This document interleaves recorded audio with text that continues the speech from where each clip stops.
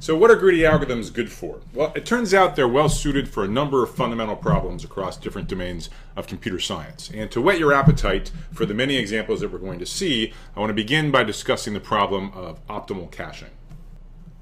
The punchline of the lecture is going to be that a natural greedy algorithm in fact minimizes the number of cache misses over all possible ways of managing a small fast cache. So what is the caching problem? Well, on the one hand, there's going to be a big but slow memory, which you can think of as holding everything you might be interested in. But then there's also going to be what we call a cache. And so this is a much smaller memory to which access is much faster. So this situation comes up all the time across different domains computer science, architecture, operating systems, networking. Uh, just to mention a couple of really obvious examples, you could imagine uh, the small fast memory being something like an L2 cache and the big slow memory being main memory, or perhaps actually uh, main memory is the fast memory and the big slow memory would be disk. Now your task in the caching problem is to process what we're going to call a sequence of page requests. So a page request just means that the client wants to access something in memory, and uh, it's guaranteed to be in the big slow memory. But if it's not already in the small fast memory, then you got to bring it in. You got to put it there for the subsequent access. The algorithmic aspect of the problem enters the picture when there's a cache miss, or also known as a page fault. That is, when there's a request for some data which is not already in the cache. When that's the case, you have to bring it into the cache. And the design question then is, what do you evict from the cache in order to make room for this new piece of data which you have to bring in? So to illustrate the issues, let's look at an extremely simple example, a cache that just has four slots for pieces of data. Let's assume that initially the cache is seeded with the four pieces of data I'll call A, B, C, and D. Now, remember the input is a sequence of page requests. So these are requests for different pieces of data. Now, when a new request comes in, you're basically sitting there crossing your fingers that what's been requested is already in the cache. So, for example, if the first request comes in for the piece of data marked C, you said, good, we're good to go. It's already in the cache, go ahead and access it. Similarly, if the next request is for D, you don't have to do anything. The good times roll, and D just gets accessed directly. The problem arises when something is requested that's not in the cache. So let's say the next request is for the data item E. Now remember, you have to bring E into the cache, and of course you have to evict one of these four pieces of data to make room for it. And your algorithm has to decide which. Can you get rid of A, or B, or C, or D? For this example, let's assume that we evict A to make room for E. Assume further that the next request that comes in is for a new piece of data, F. Again, it's not in the cache, so we have to evict something to make room for it. Let's assume we get rid of B in order to bring in F. And now an unhappy situation, but something that could certainly occur, is we get a request for something that used to be in the cache, but which we have since evicted. So for example, if the next request is for A, then we're stuck. It's going to be another page fault. We have to evict something to bring in A. And similarly, if there's a B, again, we're paying the price for evicting B uh, to make room for F in the past. So in this example, with these particular choices for page evictions, we incur four page faults. Now, the first two, the E and the F, there's nothing we could have done about it. We were given a cache that initially did not have E and F, and then E and F showed up. Well, what are you going to do? You're going to miss no matter what. However, two were caused by our unfortunate eviction decisions earlier on to evict A and B, uh, only to find them requested just after eviction.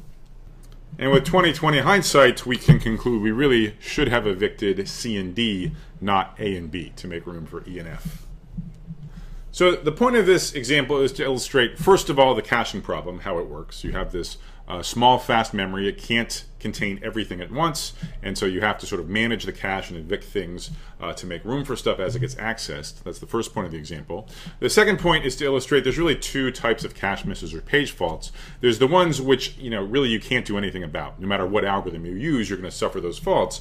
But then, depending on the eviction algorithm, you may be able to avoid some of the cache misses that you would incur with an inferior algorithm.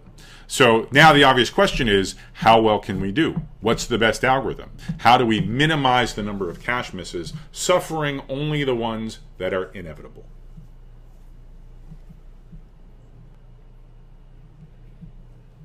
So this question was given a very elegant answer by Belady back in the 1960s, and uh, I'm going to state the answer as a theorem. Uh, it's a theorem we're not going to prove for reasons I'll discuss in a second, uh, but what the theorem says is that a natural greedy algorithm uh, is an optimal algorithm for the caching problem. That is, it minimizes the number of cache misses over any way you might think about managing the cache.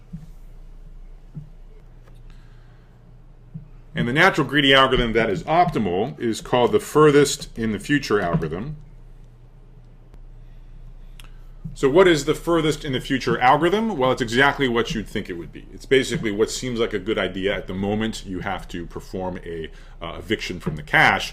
Basically, you want to put off judgment day. You want to put off the regret of evicting this particular piece of data as long as possible. When are you going to regret evicting a piece of data? Well, it's when it gets requested next. So if you have four things in the cache, you know one is one is uh, requested next, one's requested in seven time steps, and one's requested in you know 70 time steps. That's the one you want to evict now because it'll take the longest until you actually uh, regret that eviction. So for example, in the example on the previous slide, you can check that the furthest in the future algorithm, it would in fact uh, evict the ones you want to evict, A and B, not the ones that we evicted in the example C and D. Now, at this point, many of you are probably justifiably scratching your heads. You're wondering, you know, why is this useful? It doesn't seem like this is what we wanted. The objection to this result being that the furthest in the future algorithm is clairvoyant. Its very definition assumes that you know the future. It assumes that at the moment that you have to make an eviction, you're aware of when each of the pieces of data in the cache will be requested next. But if you think for a minute about the motivating applications for studying the optimal caching problem, this assumption just doesn't hold. You simply do not know the future. You simply do not know when each of the pieces of data in your cache will be uh, requested next. So this algorithm is not defined. It is unimplementable. Despite that, this is still an extremely useful result to know. Why? Well, two reasons. First of all, this unimplementable algorithm can nevertheless serve as a guideline for practical implementable algorithms. For example, it naturally motivates the LRU, or least recently used, caching algorithm. So what you do in the LRU algorithm is instead of looking forward in the future, which you can't do generally, you look in the past and you say, well, let me guess that whatever's been requested recently will be requested again soon whatever hasn't been requested been requested for a long time will continue to not be requested for a long time.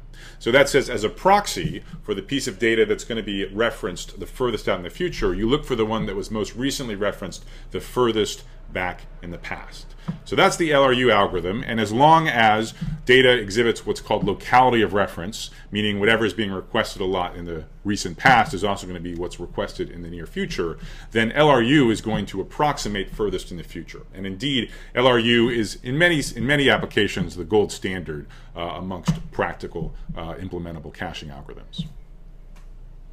The second reason this theorem is useful in practice is because it serves as an idealized benchmark, a hypothetical perfect scenario against which you can compare your latest and greatest caching heuristic. So for example, maybe you have a caching application and you start by implementing the LRU, least recently used caching algorithm. Then as a sanity check, you probably want to go back later, once you have hindsight, you look at the last few days of uh, traces of, of logs of page requests and you say, how well did we do? Let's look at how well our caching algorithm, LRU, did, and let's look at how well we would have done had we known the future. And hopefully you're just a few percent away, and then you can conclude that, yes, indeed, the data seems to have locality of reference. Yes, indeed, LRU is doing almost as well as if we know the future, and we can proceed. On the other hand, if you go back through the last few days of logs and you find that your caching algorithm is doing much worse than furthest in the future, then it's back to the drawing board with respect to your caching algorithm. You should work harder, understand the data better, and come up with a smarter heuristic. So for almost all of the greedy algorithms that we cover in this course, I'm going to explain to you why they are correct. I'm going to prove it rigorously. Uh, this algorithm is an exception. I'm actually not going to prove this theorem for you. Uh, the way it works is by what's called an exchange argument. Again, you may not have seen any examples, but you will soon. Uh, but the exchange argument to prove Belady's result, as far as I know, uh, it's pretty tricky, believe it or not. Even though the algorithm's natural, you might think this result feels a little self-evident. Try to prove it rigorously. Not easy, not easy at all. Indeed, if you look at a textbook and say operating systems or a field like that, generally you'll see a description of this algorithm, you'll see the claim that it's optimal, but you won't find the proof. Uh, some algorithms textbooks, for example, algorithm designed by Kleinberg-Tardos, do include a proof of this theorem. For those of you that are interested, I challenge you to prove it yourself without looking it up on the web or in a textbook. Uh, I think if you try to prove it, you'll appreciate the subtleties that come up in understanding whether greedy algorithms are correct or not. In the best case scenario, I would love, love to see a simple proof of this theorem, something that I could explain in a class like this in, say, five minutes or less. That would be amazing.